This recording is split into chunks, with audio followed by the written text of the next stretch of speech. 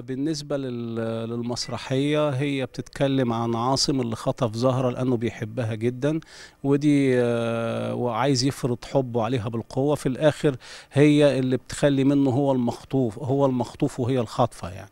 ودي بتعالج ال- الموضوع على أكتر من مستوى يعني. ممكن نع- نعبر بزهرة مصر اللي اتخطفت في يوم من الأيام ورجعت تاني وممكن الخواجة اللي هو ال- اللي أنا بعمل دوره اللي هو الخواجة جون اللي هو عالم الآثار أو تاجر الآثار ده المعادل الموضوعي الطبيعي لنظرة الغرب لمصر اللي هو كل هم الغرب إن هم عايزين ياخدوا خير مصر.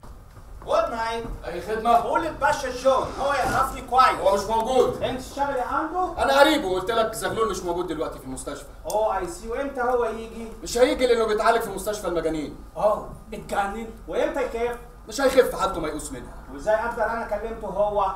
والله تقدر تزوره هناك يمكن يحجزوك معاه وات؟ مسرحية الحادثة كتابة لينين الرملي طبعا كاتب معروف واتعملت قبل كده على المسرح بعمالقة زي أستاذ أشرف عبد الباقي وأستاذ عبلة كامل وإخراج أستاذ عصام السيد ف يعني إحنا بالنسبة لنا التحدي شوية صعب لأن الناس محفوظ في ذهنها مسرحية الحادثة بناس عمالقة كبيرة يعني فاحنا لما جينا نشتغل على المسرحية كان بالنسبة لنا عايزين نبعد تماما عن المسرحية الأصلية. وفي نفس الوقت الناس لما تيجي تتفرج ما تقولش يعني ليه عملتوها؟ ليه بوظتوا الصورة الحلوة اللي في دماغنا؟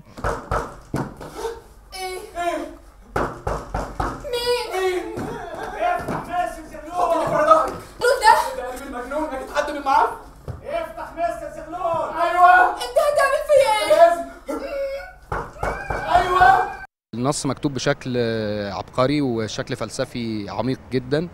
والدور يغري أي ممثل. يعني أي ممثل يبقى حابب إن هو يلعب الدور ده. هو دور طبعا آه، أنا لما بصيت عليه لقيت إن هو مستحيل يبقى شخص واحد لأن هو فيه انفعالات آه، متضاربة كتير جدا. مرة يبقى بيتكلم بشكل بجد مرة يبقى بيهزر مرة يبقى خايف مرة يبقى بيخوف حاجات غير بعض خالص. ألنين الرملي طبعا كاتب عظيم ونتمنى إن إحنا نكون وصلنا اللي هو عايز يقوله. آه، لكن إحنا طورنا الموضوع أكتر. يعني خلينا الموضوع يتطور بشكل لل- للسنة اللي إحنا فيها أو في الفترة اللي إحنا فيها لأن إحنا في لغة شباب زي ما حضرتك عارف أو الناس عارفة إن الشباب بقوا بيتكلموا بشكل يعني غير زمان شوية فإحنا طورنا من الكلام. لكن وجهة النظر طبعا واللي واللي المفروض يتقال من المسرحية الحمد لله إحنا يا رب نكون محققينه.